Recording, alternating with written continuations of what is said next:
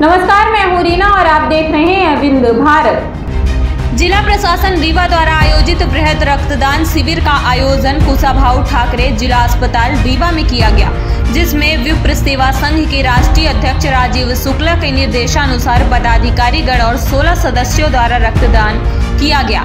साथ ही विभिन्न सामाजिक संगठन द्वारा भी रक्तदान किया गया, जिसमें लगभग 40 यूनिट ब्लड एकत्रित हुआ। माननीय कलेक्टर महोदय और जन अभियान परिषद के संभागीय समन्वयक प्रवीण पाठक जी का अच्छा सहयोग रहा। रक्तवीरों को सम्मानित भी किया गया। बहुत अच्छा लग रहा है। और ये खुशी की बात है, बहुत ही गर्व की बात है कि हमारा ब्लड किसी न किसी के हमारे भाई के काम आएगा। और मैं ये कहना चाहता हूँ कि सब लोगों को आना चाहिए। मैं तीन महीना पहले दिया था और आज भी फिट हूँ और हर तीन महीना में दूँगा। कोई फ़र्क नहीं पड़ता इस बारे में। फिर से नया ब्लड बन जाता है।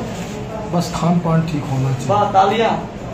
मित्र सेवा सामाजिक सरोकार में अग्रणी संस्था है और सामाजिक सरोकार के क्षेत्र में काम करती है। अभी हम लोगों ने नवंबर में 185 लोगों ने हमारे डोनेट किया था। उसके बाद संजय गांधी में किया। आज हमारे आदरणीय प्रवीण पाठक जी के आयोजन में हम लोग फिर से आए हैं। और अभी तक हमारे लगभग दस लोगों ने डोनेट कर चुके हैं और लगभग पंद्रह बीस लोग अभी आएँगे। तीस लोग समथिंग हमारे यहाँ पे डोनेट करेंगे।